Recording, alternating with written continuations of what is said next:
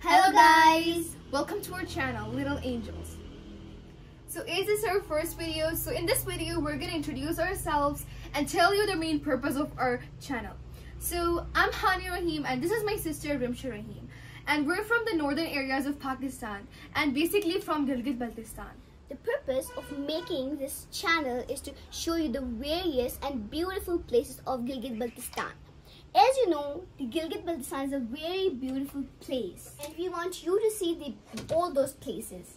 So we're on a mission to explore the various and amazing places of Gilgit-Baltistan. And we also want you to know more about our NGO in this channel.